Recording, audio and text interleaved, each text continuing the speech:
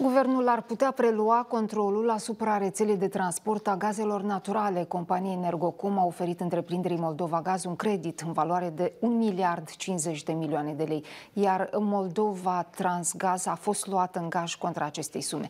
Decizia a fost luată aseară la Comisia pentru Situații Excepționale. Experții economici consideră că la momentul altă soluție nu a existat.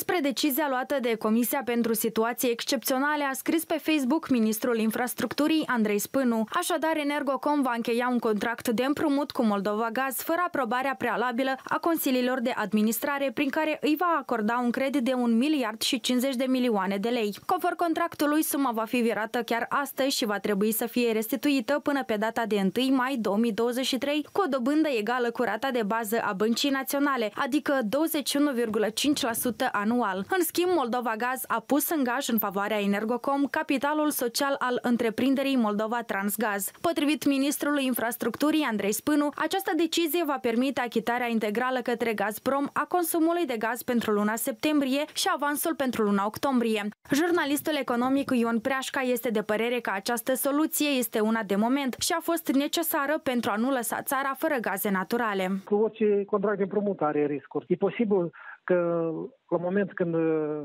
Moldova Gaz nu este în stare să plătească și Energocomul întreprinderea statul va cere uh, executarea contractului de gaz, în această situație poate să intervină și Gazprom, care tot are uh, pretenția, are direcția de datorii din Moldova.